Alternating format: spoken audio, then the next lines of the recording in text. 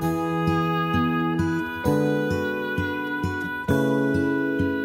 5, au chef des chantres, avec les flûtes, psaume de David. Prête l'oreille à mes paroles, ô Éternel, écoute mes gémissements. Sois attentif à mes cris, mon roi et mon Dieu, c'est à toi que j'adresse ma prière. Éternel, le matin tu entends ma voix, le matin je me tourne vers toi et je regarde, car tu n'es point un Dieu qui prenne plaisir au mal, le méchant n'a pas sa demeure auprès de toi, les insensés ne subsistent pas devant tes yeux. Tu hais tous ceux qui commettent l'iniquité, tu fais périr les menteurs. L'Éternel abhorre les hommes de sang et de fraude, mais moi, par ta grande miséricorde, je vais à ta maison, je me prosterne dans ton saint temple avec crainte.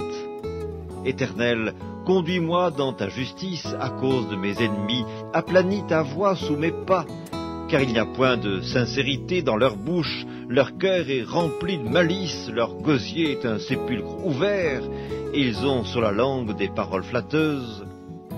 Frappe-les comme des coupables, ô Dieu, que leurs desseins amènent leur chute, précipite-les au milieu de leurs péchés sans nombre, car ils se révoltent contre toi. Alors tous ceux qui se confient en toi se réjouiront, ils auront de l'allégresse à toujours et tu les protégeras. Tu seras un sujet de joie pour ceux qui aiment ton nom, car tu bénis le juste, ô Éternel. Tu l'entoures de ta grâce comme d'un bouclier